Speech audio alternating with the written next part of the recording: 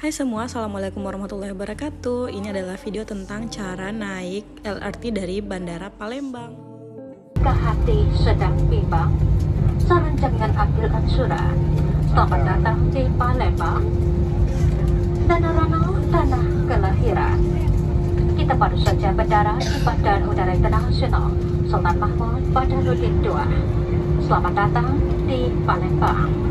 Nah ini dia view kalau kita udah mendarat di Bandara Palembang. Pertama-tama kita akan disambut oleh kain khas Palembang Kemudian teman-teman ikutin saja petunjuk jalannya menuju pintu keluar. Setelah sampai di depan, teman-teman langsung belok kanan dan akan ikuti petunjuk arah stasiun LRT naik ke atas dan ini aku naik eskalator. Kemudian teman-teman jalan lurus terus aja sampai ketemu petunjuk tulisan stasiun LRT dan jalan terus aja karena memang agak jauh, tapi kalau udah sampai kayak gini. Terus kita beli tiket di pegawainya, harganya 10.000 bebas ke tempat tujuan mana pun. Jadi teman-teman pas beli langsung ngasih tahu mau ke stasiun yang mana. Oh oh ya kertasnya jangan sampai dibuang ya soalnya bakalan dipakai buat nanti turun lagi. Jadi kurang lebih kayak gini ya untuk pemandangan di dalam LRT-nya dan juga ini dari bandara langsung menuju stasiun asrama haji. LRT ini juga beroperasi kurang lebih sampai jam 7-8 malam. Jadi teman-teman kalau misalnya mau pulang menggunakan ini usahakan jangan sampai larut malam banget ya. Aku suka banget naik LRT ini karena harganya murah. Selain itu juga ada petugas yang jagain kita jadi memang berasa amannya di dalam. Jangan khawatir teman teman-teman bakalan hilang atau kesasar karena di setiap stasiun yang kita berhenti akan selalu ada tulisan kita berhenti sampai di stasiun mana serta ada juga suara yang mengingatkan kita. Cuman kekurangannya aku tuh di sini nggak nemuin tempat charger atau tempat naruh tas. Jadi kalau teman-teman dari bandara biasanya harus tenteng-tenteng tas gitu taruh di bawah.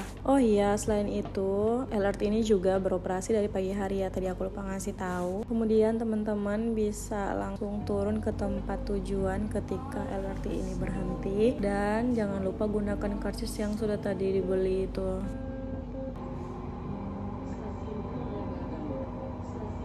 Dan jika sudah sampai di tempat tujuan, silahkan turun. Dan aku suka banget di stasiun LRT itu biasanya ada tempat charging, free charging kayak gini. Oke, sampai di sini dulu videonya. Semoga video ini bermanfaat untuk teman-teman sekalian. Bye bye. Wassalamualaikum warahmatullahi wabarakatuh.